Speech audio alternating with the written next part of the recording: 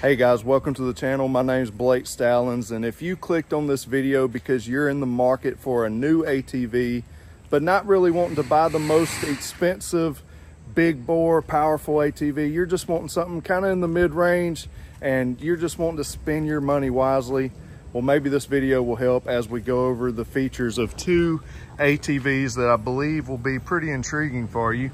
We've got a 2024 Yamaha Kodiak 450 EPS. And then we have a 2024 CF Moto C-Force 500. We're gonna go over some of the features and such, and as well, make sure you stay to the end of the video because we gotta drag race them, right? I know that, I know these aren't racing ATVs, but it's always fun to see how they match up when you line them up on the drag strip. So we'll do that for you just for fun. But until then, let's get into the real details. So right off the bat, we'll just get right into talking about the price. MSRP as the Yamaha and the CF Moto come straight off the showroom floor in their stock form. Of course, overlook these uh, baskets here on the rack. A customer just traded this in and uh, had those put on there. The Kodiak doesn't come with that, just comes with these metal racks here. So just overlook that for now. But this is a 2024 Yamaha Kodiak 450 EPS model. So it has power steering and uh, we'll talk about some of the features in a moment, but let's just go ahead and put the price out there. This is starting at a MSRP of $8,099. Now let's run over here to the CF Moto C-Force 500. And uh, this is in its stock form here. And that's just how it comes off the showroom floor. We'll talk about the features in just a moment, but the MSRP is $63.99, so $6,399. Again, the price here on the Yamaha is $8,099. That's MSRP, not counting dealer fees, prep, all that stuff, whatever your local dealer may have to charge there. So there is a pretty big price difference there. And let's first talk about some of the similarities between the two machines, and then we'll get into some of the features that one may have over the other, and then we'll talk about that price difference. They both have independent rear suspension. I'll show you that real quick. And that's what really makes these ATVs ride so smoothly. Instead of having a solid rear axle, it has independent rear suspension, which gives you a smoother ride. We'll show you the Yamaha Kodiak rear suspension here. So it's double A-arm rear suspension on both. So it's gonna give you a good, good ride on both machines. You also have power steering on both of these because this is the EPS model. The CF Moto C-Force entire lineup has power steering except for the C-Force 400. So this does have power steering since it's a 500. Now, just to throw out the price of the C-Force 400, it is $53.99. So $1,000 cheaper, you can get the C-Force 400 and maybe I'll throw in some more details about it here in just a little bit. But since the Kodiak was so much more expensive, it being a 450, we decided to show you the C-Force 500. One other feature that both of these two ATVs share is differential lock. So as you can see in the name of the Yamaha Kodiak, it's got diff lock written there on the graphics. And the way that that works is you have two wheel drive. Let me get this to focus here. You have two wheel drive and then you push that in. It's going to put uh, send a signal to the actuator to put in four-wheel drive. You'll move this lever over and then you it reveals this yellow button here. You'll simply press it, it's gonna pop out and then it will lock in the front differential. Now you just press that, slide it back over, push that, and you'll let the electronic actuator on the front differential, I don't know if we'll be able to see that. Yeah, there it is, right back there. That switch will send a signal to the actuator and that's how it operates the four-wheel drive up front. Same concept on the CF Moto C-Force 500. You have the switch here, it's in two-wheel drive. Flop that over to four-wheel drive, uh, but the front differential will still be open. Then you twist this on over and then you can push this out. It'll lock it into four-wheel drive diff lock in the front. And then you can press it, go back to regular four-wheel drive and then two-wheel drive. So same setup there. And the actuator motor is on the front side of the diff on the CF Moto C-Force. I already mentioned this, I believe, but both of these ATVs have power steering. But I'll at least let you see the control configuration here. Pretty simple on both of them. And now here's your screen, your display on the Yamaha. It's pretty small, just compared to my hand there. And then here, of course that's LED, so it's kind of flickering a little bit with the frame rate that I'm filming at. But this is a really big display. It's got a protective film over the screen right now. I don't want to peel that off right now, but a little bit bigger display, or rather a lot bigger display. Both of these ATVs come standard with 25 inch tires on 12 inch wheels. See Yamaha has its own branded wheel there. And then CF Moto as well. Both are pretty nice looking.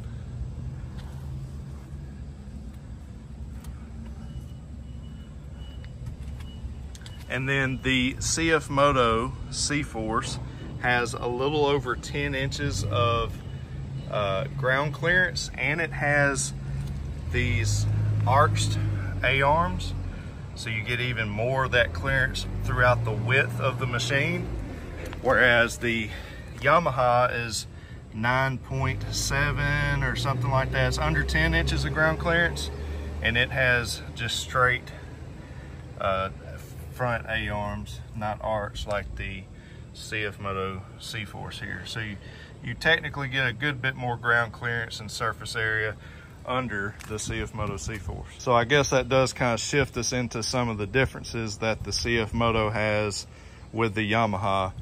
One being that this one has LED headlights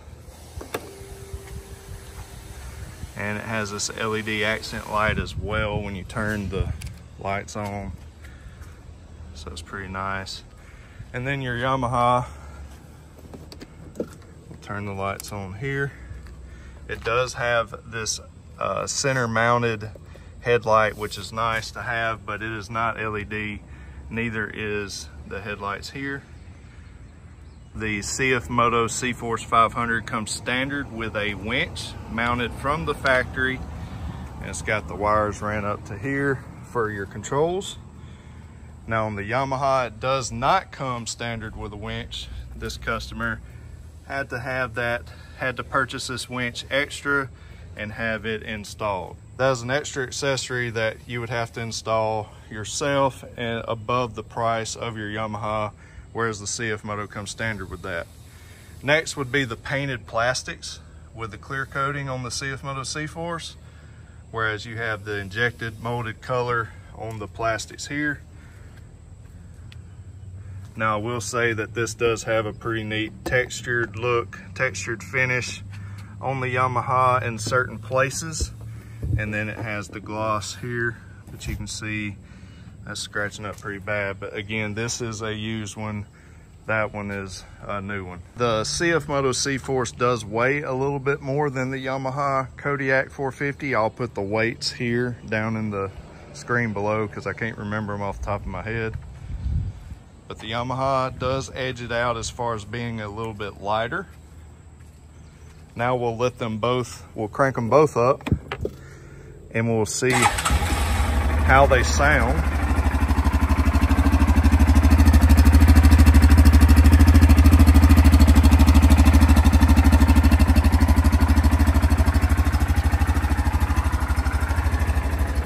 Okay, now we'll crank up the C-Force 500.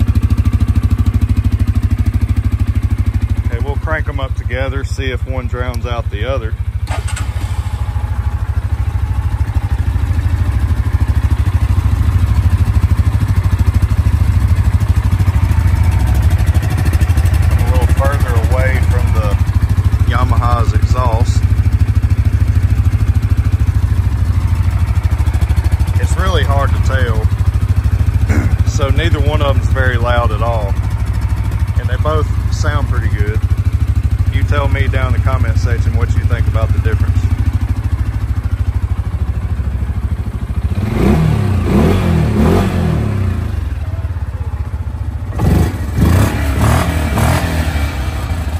Oh, now that makes a big sound difference there. Tell me what's your thoughts on that. Let me put the camera a little closer to the exhaust.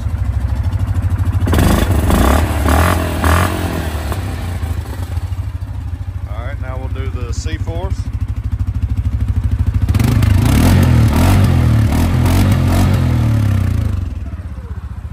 All right, we'll shut them both off.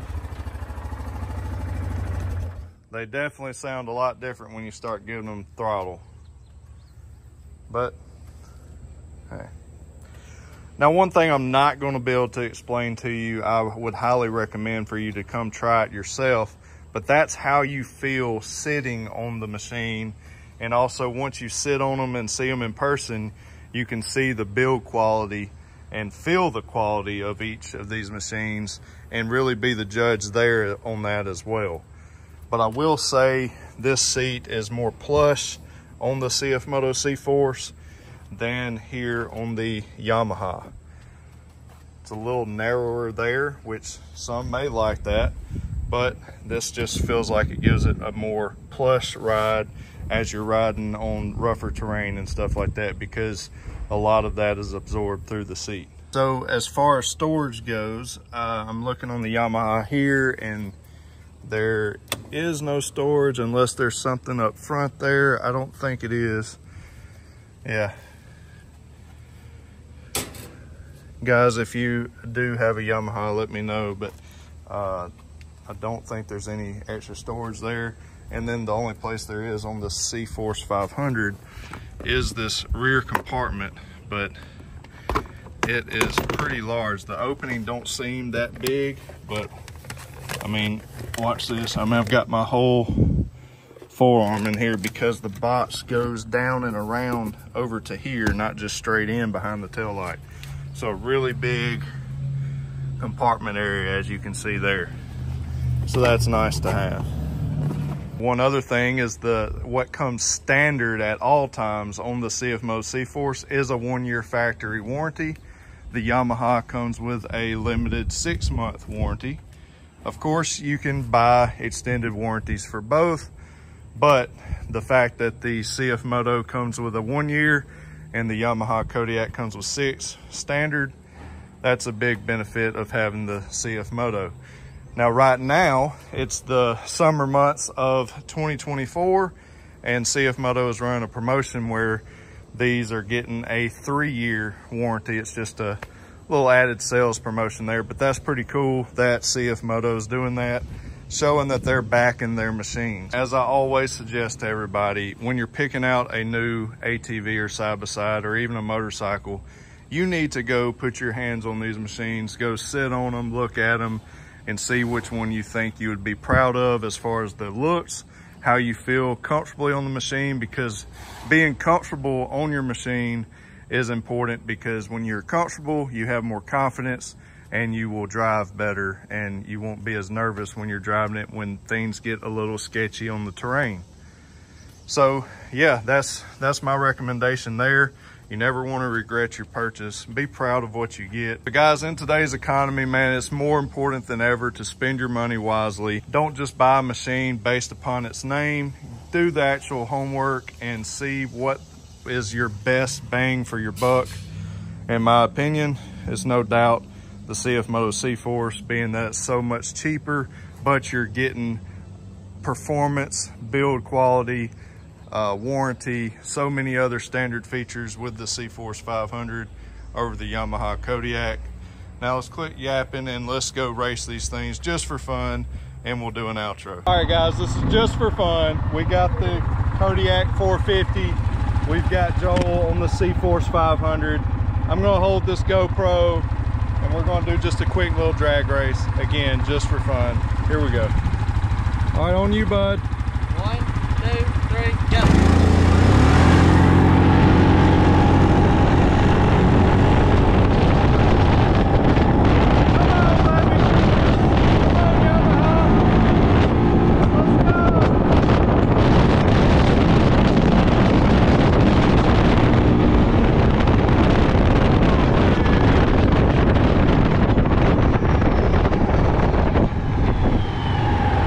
Hey, you know what would be fun? What? Race the 400. Perfect. We started dead even. Yeah, yeah, we took off right at the same time. I'll go grab a All right. Okay, so Joel's gonna go grab a 400 and uh, we'll race the 450 with the 400 and see what happens. Again, I want to say I do acknowledge these are just utility four-wheelers, four by fours. They're not made for racing, but it's still fun to see, you know, how they compare when you line them up. But uh, we'll uh, snap to Joel on a C-Force 400. We're in high gear and we'll punch it and see what happens. It's gonna be close to 400 a little bit. Yeah, yeah. Yeah, what Joel's saying is from experience, we know that the C-Force 400 is uh, slower off the bottom end, but once we get to mid-range, it should be pulling pretty good. So we'll see how the 450 Yamaha and the C-Force 400 does.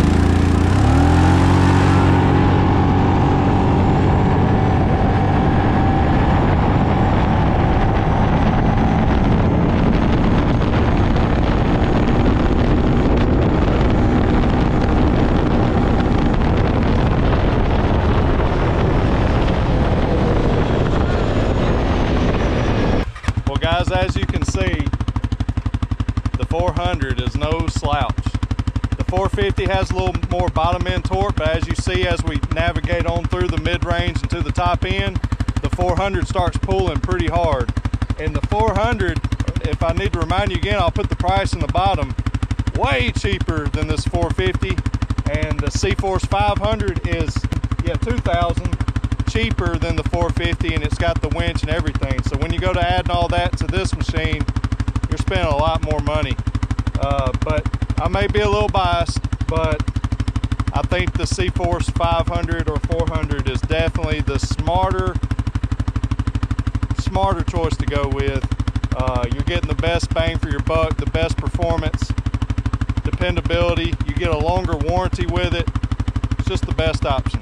But anyways, let's go close this video out. You go and you decide for yourself. Do your homework, do your research. Don't just buy something just because of the name on it. Get what actually makes sense, especially in this economy. Get the best bang for your buck. You can come here to Main Street Cycle. I promise you it'll be worth the drive.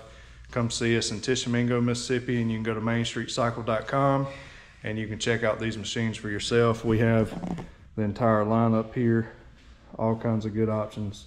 We've got side by sides, motorcycles, everything you could possibly want. The CF Moto C Force 500, definitely my pick in this uh, shootout here. And uh, Yamaha still a great machine, no doubt about it. But for the money and for what you get, you can't beat the C Force 500. Anyways, guys, if you need parts and accessories for your ATV, side by side, or motorcycle, go to teammscparts.com and check out all that we have to offer you there.